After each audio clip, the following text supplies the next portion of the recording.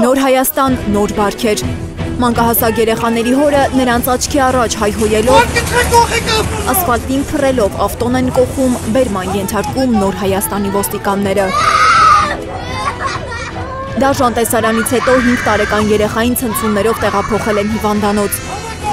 Բերման ենթարկված քաղաքացին մարմնական վնասվածքներ է ստացել։ Ամեն ինչ սկսվել է ապօրինի կառույցը քանդելուց։ Չնայած շինարարությունն օրինականացնելու ընթացքի մեջ էր ոստիկանները 1 ժամ էլ չեն տվել ընտանիքին տարածքն ազատելու համար։ Ասում է երեխեքին թողեք երեխի մոտ գնան, վախենում են երեխեքը, ոչ մեկ չլսեց։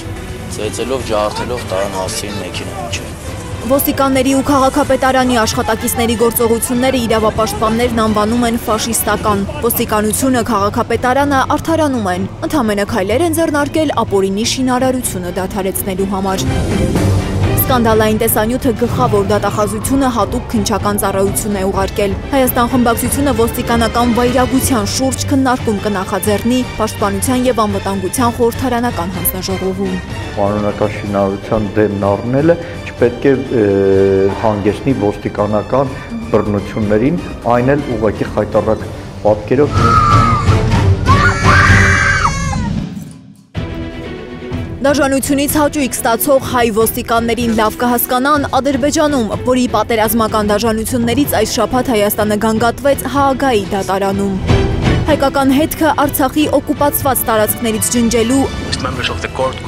հայ ռազմագերիներին խոշտանգելու ու պատերազմական այլ հանցագործությունների բազմաթիվ փաստեր ներկայացվեցին միջազգային արդարադատությանը։ Երևանը մեղադրեց Բաքվին, Բաքուն հերքեց։ Ադրբեջանում հայերի նկատմամբ տիեզերական չափերի հասած ատելության մասին դատավորներին պատմեցին Հայաստանի ներկայացուցիչները։ Մեր պետությունն ակնկալում է, որ Հաագան Բաքվին պատասխանատվության կենթարկի ռասայական խտրականության համար ու կպարտադրի փոխհատուցում տալ։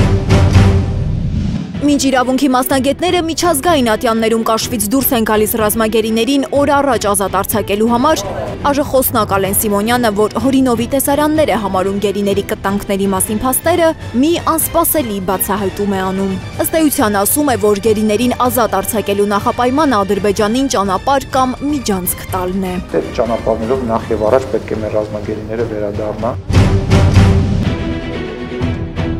Խաղաղասիրությանը գերի մենք պատրաստվում ենք ճանապարհ տալ, որ Բաքուն ու Նախիջևանը ցամաքային կապ ունենան։ Հադրուտը Էրմենիլեր Իսկ Ալիևը կտրում է մեր բոլոր պատմական կապերը հայկական դիզակի Հադրութի հետ։ Հայերը Հադրութ են եկել Իրանից 19-րդ դարում։ Դա բոլորը գիտեն։ Ադրբեջանցիները հայկական գերեզմանակարերով մսկիթ են կառուցում Հադրութի ամենաբարձր կետում։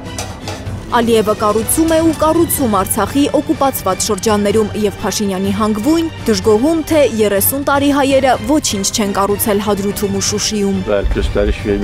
Ուր են գնացել հայ մեծահարուստների հավաքած միլիոնները։ Նշանակում է Հայաստանի նախկին ղեկավարությունը խափել է աշխարհի հարուստ հայերին։ Ալիևը գնացել է ասма հադրուտը, մերն է եղել։ Հադրութի իրական տերերը Երևանի փողոցներն ընկած փախստականի կարգավիճակ են խնդրում։ Իրենց խոսքով հաշմանդամ կառավարությունից վաղուց հույսները կտրել են ՄԱԿ-ի գրասենյակի, Ֆրանսիայի ու Ռուսաստանի դեսպանատների դռներն են թակում։ Ախր ես որ իշխանությունների պահվածք տեսնեմ կգնհատեմ, էդ էլ չի երևում։ Չկա պահվածք չկա։ Հիմա չեմ հասկանում իշխանություն գոյությունի թե չասմեն կա։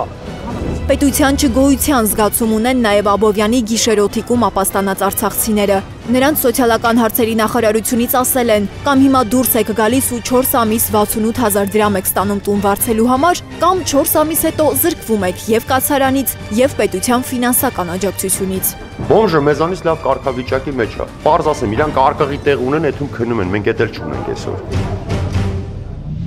հայոց մեջ լավ լուրեր նույնպես լինում են։ Լավ լուրն է նա, որ ըստ էության շուկա չկա եւ որ քանդվի եւ Փաշինյանը նկատի ունի, որ Հայաստանը ավիաշուկա չունի, իսկ այդ մասին հիշել էր, երբ մի նախարար ասել էր. ավիափոխադրման ոլորտում մրցակցային պայմաններ կան ու պետական մասնաբաժնով այնտեղ մտնելը կարող է քանդել ստեղծված շուկան։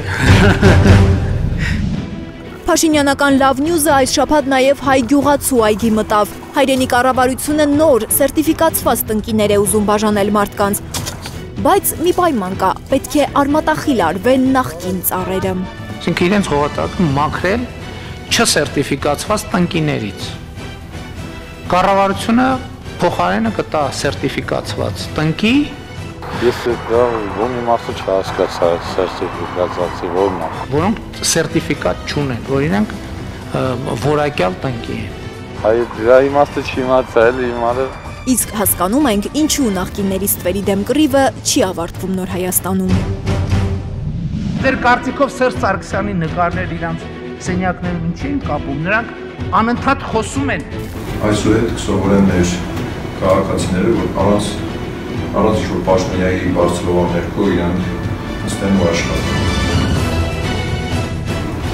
Բայց երբեք չի լինելու սենց բան։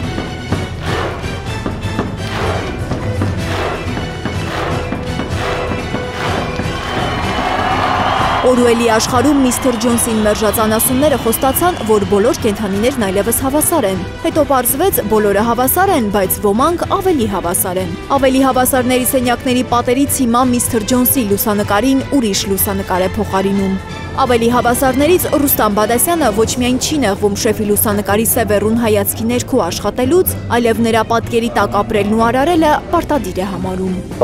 է սահմանված նոր կարգը։ Պեկ նախագահի հայտարարությունից շատերը ուշաթափվեցին եւ միայն մեկը պարկեց նրա ծնողների առանձնատան մոտ ի նշան բողոքի։ Բողոքի ակցիան հասկացնելու այլ միջոց չունեք, ստեղ պետք է պարկեք։ Նախկին հեղափոխականների աշխատասենյակների պատերից չափավոր ժպտացող վարչապետի դեմքը հաճախ այլայլվում է միջազգային հավաքներում, ինչպես այս շաբաթ ԵԱՏՄ օնլայն գագաթնաժողովում։ Փաշինյանին ԱՊՀ պետությունների առաջնորդները չեն լսում։ Անջատվել է հրախոսը։ հեռախոս անջատած է։ Извиняюсь. А теперь слышно. Адмирала Լիլիթ Գասպարյան, Իրինա Գևորքյան, Հայլուր Կիրակի։